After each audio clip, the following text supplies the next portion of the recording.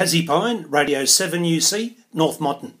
Well, I tell you what, uh, the Liberal Party's gone berserk in Tasmania. In fact, all around the country, uh, there's Abbott boys trying to knock off Turnbull boys, and in Tassie, well, they've done even better.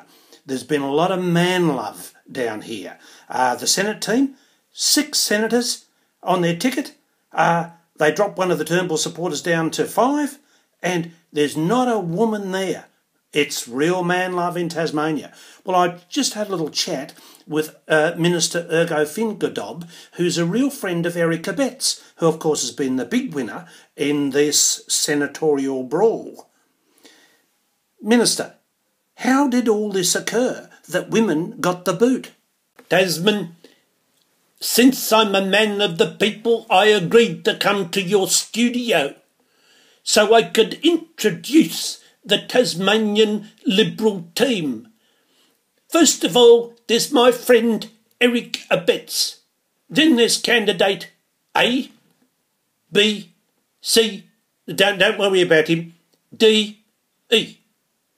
So there's unity here because we don't have any women. So we can all talk with the same voice, the same message for Australians everywhere. And Malcolm, we're coming for you to, to, to help you. Malcolm, to help you. We tried to get a word uh, out of um, Senator Eric Abetz. Uh, we said, uh, Where are the women? He remained tight lipped. So we're calling on you, Malcolm.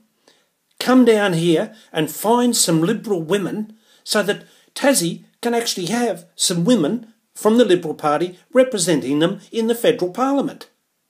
Uh, we also heard that Eric Abetz is right behind Malcolm Turnbull, but we think maybe a long, long way behind. This is Tassie Pine, Radio 7 UC.